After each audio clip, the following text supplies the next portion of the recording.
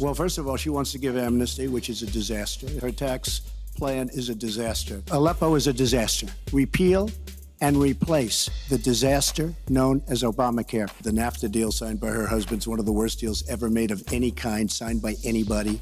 It's a disaster. We're going to make a great trade deal. And if we can't, we're going to do it, we're going to go a separate way because it has been a disaster. And under her plan, you have open borders. You would have a disaster on trade, and you will have a disaster with your open borders. President Obama came into office, he inherited the worst economic disaster since the Great Depression.